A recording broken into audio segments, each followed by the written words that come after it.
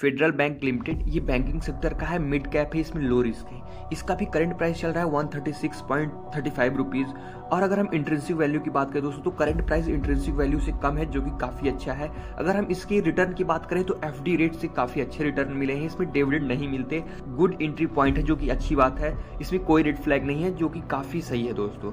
अगर हम की मैट्रिक्स में आए तो प्राइस टू अर्निंग रेशियो 14.62 का है, जो कि काफ़ी अच्छा माना जाता है दोस्तों। सेक्टर पी भी 21 का है, जो कि सही है।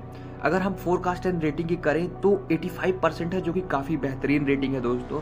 अगर हम कंपेयर करें पेयर्स के साथ तो यहाँ पे देख सकते हैं फेडरल बैंक का एच बैंक से काफ़ी अच्छा रिटर्न रहा है। पिछले एक साल में 36 परसेंट रिटर्न दिए हैं, वहीं पे H D F percent down रहा है दोस्तों। अगर हम इसकी प्रॉफिट और रेवेन्यू की बात करें तो आप देख सकते हैं ईयर ऑन ईयर इसका प्रॉफिट और रेवेन्यू भी इंक्रीज हो रहा है। तो इन्वेस्टमेंट के लिए इस शेयर को आप कंसिडर कर सकते हैं।